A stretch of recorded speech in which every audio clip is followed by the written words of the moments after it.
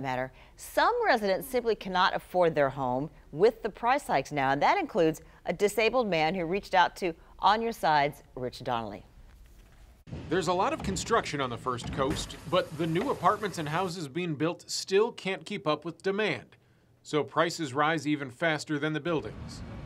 Last month, State Representative Carlos Smith told our Robert Bradfield Floridians simply can't afford Florida. That's exactly the case for Michael Bowen. He's on disability and uses a wheelchair because his spine is fractured. But his rent is being doubled. Bowen can't afford to pay the new price, so he has to move out of his apartment by Monday the 10th, or else his landlord will file for eviction.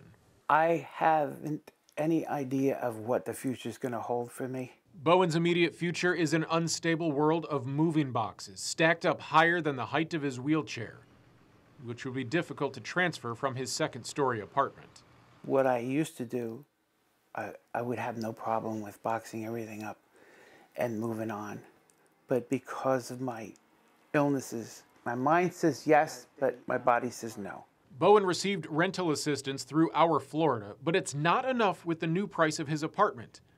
He's also received legal assistance through Jacksonville Legal Aid. People did help me, and they are still helping me, but Morgan Properties does not want to help me. Morgan Properties owns Bowen's complex. When we reached out to them about this story, they told us that this is a personal financial situation and that their policy is to not publicly discuss these matters. But it's more than financial for Bowen. This is his life, and he needs to find a new home by Monday. That was Rich Donnelly with that.